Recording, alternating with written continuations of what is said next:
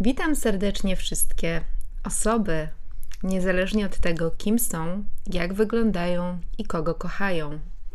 Chciałabym, aby ten podcast tworzył bezpieczną przestrzeń dla każdego, bo społeczeństwo jest dużo bardziej różnorodne niż nam się wydaje na pierwszy rzut oka. A teraz poważnie. Witam wszystkich normalnych mężczyzn w wieku produkcyjnym, którzy wskutek panoszenia się idei równościowych utracili swoje społeczne przywileje. Zapraszam Was do audycji, w której lekko i z humorem opowiemy sobie o postępującym upadku cywilizacji, przypadkowo idącym w parze z trwaniem liberalnej demokracji i rozwojem ruchów wywrotowych. Jeżeli drogie są Wam takie wartości jak egalitaryzm czy emancypacja, nie znajdziecie tu dla siebie zbyt wiele. Piwo, czyli kon karne, ideologia usprawiedliwiająca nasze panowanie. To wszystko, co mamy do zaoferowania. Nazywam się Ludwik Pęzioł i zapraszam do ekskluzywnego tygodnika, pierwszego źródła wiedzy kanapowego reakcjonisty. W naszym podcaście poddajemy ideologicznej analizie wydarzenie, które naszym zdaniem miało największy wpływ na świadomość społeczną w ostatnim tygodniu. By nie było zbyt nudno, wszystko zostanie opruszone drobną szczyptą miękkiej indoktrynacji kontrrewolucyjnej. Podczas naszego pierwszego spotkania spróbujemy odpowiedzieć na pytanie, może trochę wulgarnie postawione, ale wulgarność ta jest nie do uniknięcia. Czy cienie naszych przodków obsrają nas za sprzedanie niepodległości? Taka właśnie bowiem po ostatniej debacie w Brukseli zarysowała się przed nami alternatywa. Albo pieniądze z Unii, albo możliwość podejmowania samodzielnych wyborów w życiu politycznym, gospodarczym i obyczajowym. Jeżeli ktoś przespał pod kamieniem ostatnie dni, spieszę ze streszczeniem ostatnich wydarzeń. Jako zwolennik chamskiego upraszczania rzeczywistości uczynię to następująco. W trakcie wspomnianej debaty dowiedzieliśmy się, że jeżeli nie oddamy władzy nad Polską unijnej lewicy, zostaniemy złupieni na kilkadziesiąt miliardów euro. Ponadto usłyszeliśmy, że Niemcy zachęcają do rozruchów ulicznych w Polsce że nowa międzynarodówka pomoże tutejszym wywrotowcom obalić rząd PiSu, że oddadzą nas Putinowi, że czekają nas nowe rozbiory i że wszyscy eurokraci bardzo kochają Jana Pawła II. Wszystko zostało wyrażone w języku unijskim, jedynym języku świata, w którym pogróżki wyraża się pojęciami ze sfery aksjologii. W festiwal pogróżek wesoło włączyły się takie osobistości jak znany z ogłady towarzyskiej Radek Sikorski, tacy arcyeuropejczycy jak Leszek Miller czy Włodzimierz Cimoszewicz i kilku innych Polaków na posyłki. Co zaskakujące, pierwszy z wymienionych w wywiadzie udzielonym dzień później panu Węglarczykowi z Onetu wygłosił bardzo słuszną myśl. Mianowicie powiedział on, że kraje Unii Europejskiej są suwerenne, czego dowodem jest fakt, iż mogą z Unii Europejskiej wystąpić. Poznać oksfordzkie wykształcenie, pan Radek musiał studiować sześć ksiąg o Republice Bodena i wie, że państwa delegując na jakiś inny podmiot część swoich praw, wcale nie tracą suwerenności. Dopóki więc Polska może opuścić Unię, pozostaje państwem suwerennym. Czego więc się boimy? W czym leży nasz problem?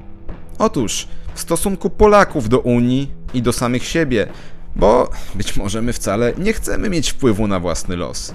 Może nie chcemy wybierać sobie władców i ich kontrolować? Być może 30 lat demokracji liberalnej odebrało nam instynkt samozachowawczy lub doprowadziło do zaniku pewnych kategorii w naszym myśleniu. I taką właśnie zanikającą kategorią stała się niepodległość, a kwestia narodowa zwisa nam dorodnym kalafiorem. Albo Parafrazując Romana Dmowskiego, wielu z nas bardziej nienawidzi PiSu niż kocha Polskę i nawet gdyby Adolf Hitler zmartwychwstał i ruszył na nasze granice, popieralibyśmy go, bo jego inwazja uderzałaby w PiS. A może nasza strona? To jest e, front radykalnych pasywistów, prawicowa obłomowszczyzna, czy jak jeszcze byśmy tego nie nazwali, dramatycznie się myli? Wykluczyć się tego nie da, więc gwoli uczciwości zreferujmy też stanowisko strony przeciwnej. Ale uwaga, to będzie cholernie nudne. Tamci mówią tak. Unia Europejska, której jesteśmy częścią, musi zapobiec łamaniu prawa przez partię PiS, która postępuje wbrew woli większości Polaków i buduje nowy autorytaryzm. Hmm, jako zwolennik dyktatury kontrrewolucyjnej Um, chyba trochę przesadziłem, trzeba jakoś to złagodzić. Jako zwolennik demokratycznej dyktatury kontrrewolucyjnej, nie uważam, by dogmatyzm ustrojowy był poglądem racjonalnym. Istnieją przecież różne narody, różne uwarunkowania, różne momenty historyczne, w których mogą sprawdzać się różne ustroje. Jeżeli tylko przyjmiemy, że to ustrój ma służyć człowiekowi, a nie człowiek ustrojowi. Tutaj pewnie nie dogadałbym się z monarchistycznym skrzydłem kontrrewolucji. Mam nadzieję, że mi to wybaczą. Pozostawmy kwestię autorytaryzmu i zastanówmy się nad tym łamaniem prawa. Jeżeli PiS łamie prawo, Unia musi chronić swoich obywateli, będących równocześnie Polakami. Tak więc Unia robi nam, zwykłym ludziom, dobrze, wstrzymując wypłatę tych kilkudziesięciu miliardów. Czy inteligentny człowiek jest w stanie przyjąć to wytłumaczenie za zadowalające? Mógłby, pod warunkiem, że nie zadałby sobie pytania, do czego zmierza Unia? I czy aby nie zmierza do skasowania suwerenności wszystkich państw członkowskich? Czy można dowieść takiego twierdzenia bez odwoływania się do teorii spiskowych i paranoicznych domysłów? Oczywiście. I to bardzo prosto. By to zrobić, najlepiej powołać się na słowa Lwa Trockiego, który tak napisał o rozroście stalinowskiej biurokracji. Nie ma takiego diabła, który dobrowolnie dałby sobie obciąć pazury. I to, jak ulał, pasuje do współczesnych unijnych biurokratów. Ich pazury rosną i próbują wyszarpnąć władzę poszczególnym, niezależnym od nich ośrodkom władzy, np. rządom państw członkowskich. Do zadośćuczynienia tej urzędowej chuci optymalny jest ustrój centralistyczny, najlepiej w formie unitarystycznej. To jest bardzo proste wytłumaczenie, do którego nie trzeba nawet włączać narracji od Spinellim et consortes. Po prostu taka jest logika rozwoju biurokracji, zarówno tej krajowej, jak i międzynarodowej. Zawłaszczanie, ujednolicanie, usuwanie zawali dróg typu naród czy religia, rodzących ryzyko niesubordynacji aparatowi Komitetu Centralnego w Brukseli. Nawet ktoś przeciętnie rozgarnięty stwierdzi, że postępowanie tego procesu w dłuższej perspektywie może doprowadzić do bałkanizacji Europy i sen biurokracji pryśnie, rozerwany wzajemnymi antagonizmami organizmów, które nie chcą się gotować w jednym kotle. Unijni politycy nie są na tyle krótkowzroczni, by takiego scenariusza nie przewidzieć. Wiedzą, że aby tego uniknąć, muszą swoich poddanych przeistoczyć w jednolitą biomasę, którą coś spaja. Najlepiej jakiś wspólny cel. I jaki to cel? No, raz taki, raz inny. Aktualnie jest nim, jak wskazują kolejne projekty sygnowane przez unijnych włodarzy, zielone, inkluzywne społeczeństwo. W wersji pesymistycznej poprowadziłaby nas do niego ideologia ekoliberalizmu, a w wersji jeszcze bardziej pesymistycznej ekosocjalizmu. Dlaczego jednak europejskie społeczeństwa miałyby porzucić wszystko, co znają i wstąpić w taką zieloną otchłań? Z prostej przyczyny zagraża nam koniec świata. Zbliża się zmierzch antropocenu. Ajwaj, wszyscy umrzemy. Możemy jednak uniknąć rychłego klimatycznego zgonu pod pewnym warunkiem. Poza oczywiście przestawieniem naszej gospodarki na ekologiczne tory, na czym zarobią najwięksi. Otóż naukowcy, przynajmniej ci, o których wspomina w jednej z publikacji Edwin Bendyk, prezes Fundacji Batorego, do niedawna zasiadający w zarządzie krytyki politycznej. A więc naukowcy powiadają, że aby zapobiec apokalipsie klimatycznej, trzeba również zmniejszyć nierówności, wykluczenie społeczne i zupełnie zmienić reguły, jakimi kierujemy się w życiu. Innymi słowy, radykalnie przeobrazić dotychczasowe instytucje społeczne w tym państwo, religię, pracę, rodzinę, seksualność, własność prywatną, bo jeżeli nie, to spłoniemy w piekle katastrofy klimatycznej. W pewnym sensie przypomina to działalność intelektualistów marksistowskich po II wojnie światowej. Postanowili oni wykorzystać świeżą jeszcze traumę Holokaustu do swoich celów już na poziomie samej diagnozy, w następujący sposób. To, czego my, marksiści, nie lubimy, przykład chrześcijaństwo czy własność prywatna, doprowadziło do Holokaustu. Żeby Holokaust się nie powtórzył, musimy wprowadzić socjalizm. By trudniej było zakwestionować ich twierdzenia, wymieszano w nich czynniki prawdziwe i nieprawdziwe, ale idące w sukurs wizji sił świetlanego podstępu. Tym razem pretekstem ma być katastrofa nie miniona, ale nadchodząca. Nowa diagnoza brzmi: to, czego my, lewicowi liberałowie i demokratyczni ekstremiści nie lubimy, doprowadzi do końca świata. Mamy tu jednak dwugłos, bo tuż obok wrzeszczy kolorowy, wyklęty lud ziemi. Nie, nie, to czego my nie lubimy doprowadzi do katastrofy.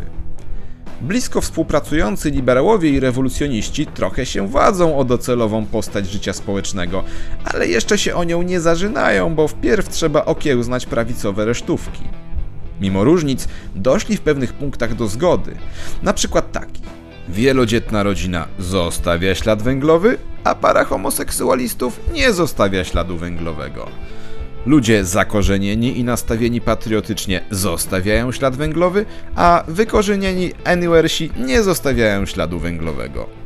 Maluczcy, którzy posiadają na własność mieszkanie, zostawiają ślad węglowy, a ludzie uprawiający kibbutz housing i kibbutz working nie zostawiają śladu węglowego. Organizacje hierarchiczne zostawiają ślad węglowy, a turkusowe nie zostawiają śladu węglowego. Mogę tam tak jeszcze długo. Robert Bąkiewicz zostawia ślad węglowy, Marta Lempart nie zostawia śladu węglowego. Arcybiskup Marek Jędraszewski zostawia ślad węglowy, a ksiądz Adam Boniecki nie zostawia śladu węglowego. Podkarpacie... Ech, dobrze, już wystarczy. W tych kwestiach lewaki i lewako-liberałowie akurat się zgadzają. Celem więc jest taki świat, w którym wszystko, co pozostawia ślad węglowy, zostaje skasowane. No i tutaj dochodzimy do sedna naszej sprawy. Co z Polską? Otóż Polska zostawia kawał naprawdę wielkiego, śmierdzącego śladu węglowego. Kiedy zostaną wyeliminowane czynniki, których nie lubi zarówno lewica liberalna, jak i lewica rewolucyjna, niechybnie zaczną strzelać do samych siebie. I prawdopodobnie wygra lewica rewolucyjna, bo oni nadstawiają głowę za swoje komunistyczne ideały. A za ideę złotego środka nikt ginąć nie będzie. Przypomina to trochę losy tzw. Tak destra storica, czyli włoskiej prawicy historycznej, która w XIX wieku weszła w konszachty z ówczesną lewicą i nie mając swego źródła mocy, jak pisze profesor Bartyzel, rozmydliła się i musiała ustąpić prawdziwie zdeterminowanym i wierzącym w swoje ideały. O co właściwie chodzi tym dwóm odmianom świetlanego postępu? Zacznijmy od liberałów. By ich zrozumieć, należy poznać dzieło Karla Popera pod tytułem Społeczeństwo otwarte i jego wrogowie. Moim skromnym zdaniem to najistotniejszy dwudziestowieczny tekst tej bądź co bądź jałowatej ideologii. Dokonajmy prostackiego skrótu treści tego dzieła. Popper rzecze, że mamy demokrację, czyli społeczeństwo otwarte, i totalitaryzm, czyli społeczeństwo zamknięte. I nic pomiędzy. Za wszelką cenę trzeba chronić demokrację, bo alternatywą są piece krematoryjne. Nie opłaca się jednak robić rewolucji totalnej, bo nie przyniesie ona pożądanych skutków. Należy zastąpić ją, jak to nazywa Popper, cząstkową inżynierią społeczną. Demoliberałowie powinni więc ułożyć na queerowych popaprańców i wściekłe macice, bo oni powstrzymają widmo autorytaryzmu. Kilka lat temu dokonano rewizji tego punktu widzenia i grozę powrotu Holokaustu zastąpiono grozą nadchodzącego piekła klimatycznego. Jak widzimy, jest to czysto narzędziowe z ich punktu widzenia posługiwanie się wywrotowcami, czyli radykalną lewicą. Myślą, że się nimi posłużą, a później ich okiełznają, tak jak Niemcy myśleli, że najpierw dofinansują Lenina, a później wykiwają go. Dlaczego Popper jest tak wpływowy? Jeżeli panowie wejdą sobie na przykład na strony organizacji zagranicznych, które finansują polskich rewolucyjnych bandziorów, to aż sączy się z nich ta poperowszczyzna. Włączają się w to wszystko wielkie korporacje jako beneficjenci demoliberalnego systemu. Reprodukują ten system, by utrzymać dominację i dalej rozwijać swój stan posiadania.